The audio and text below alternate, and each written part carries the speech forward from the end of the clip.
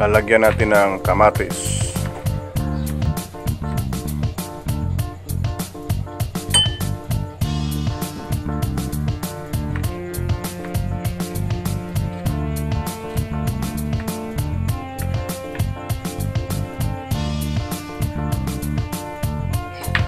At saka sibuyas bombay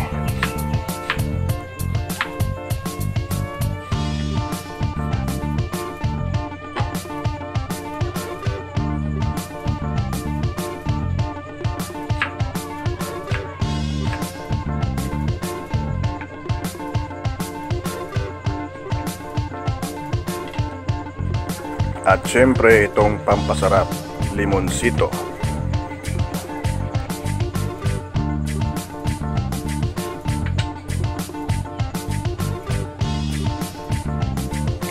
Ito yung kinilaw na sardinas. Yan.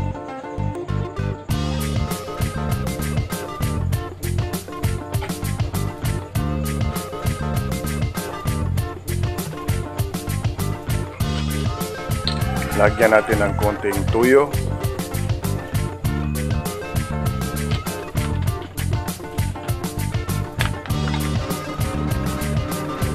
At konting-konting suka.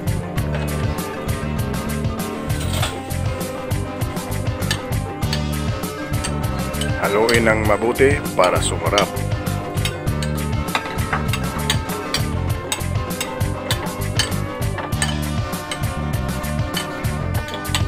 Pero mas masarap to kung may sili. Talagang ubos talaga ang bahaw niyo nito.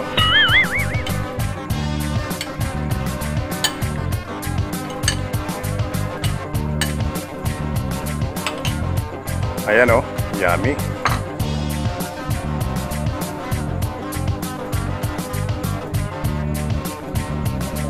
Tikman natin. Mm, ang sarap. Ito naman ang pangalawa nating recipe. Magigisa tayo ng sardinas.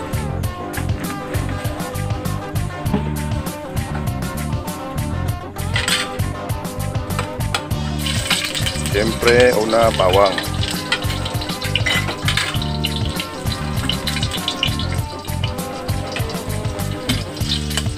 Pagkatapos, sibuyas at kamatis.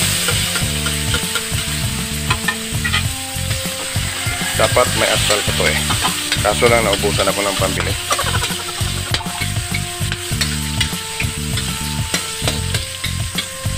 Ito na lang sigurong ihanda ko sa New Year.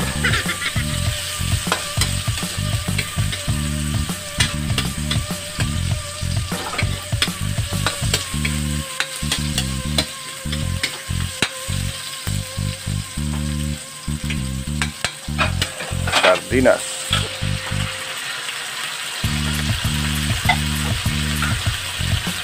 Dalawang sardinas.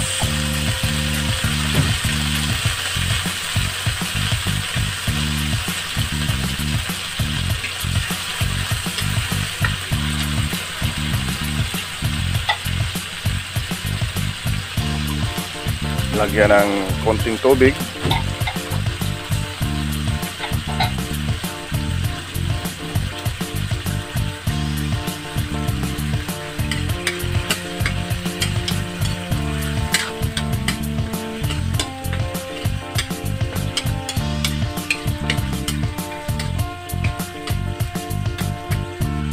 ito yung lutong lockdown.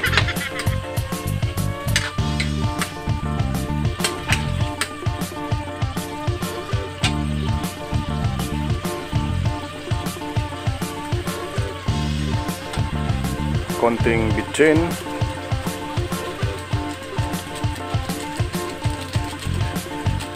Naparami yata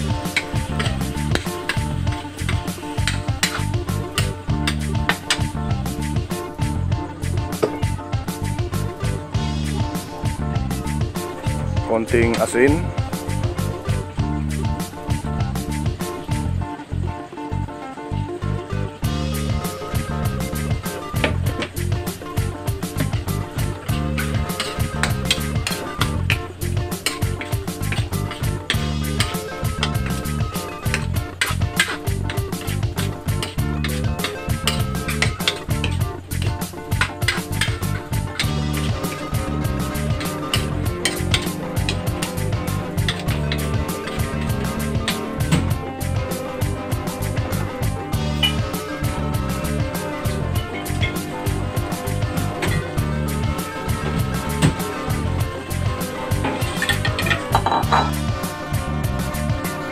syempre itong kalamansi.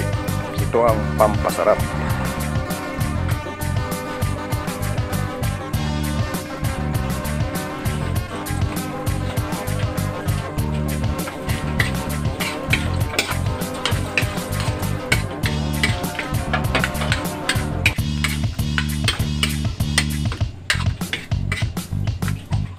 Ang dami kong ulam ngayon ah.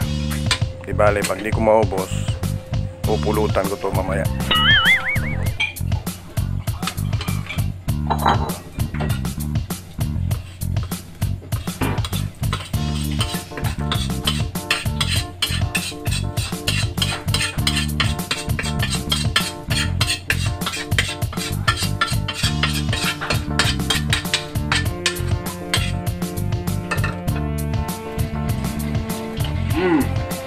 Grabe, sobrang sarap.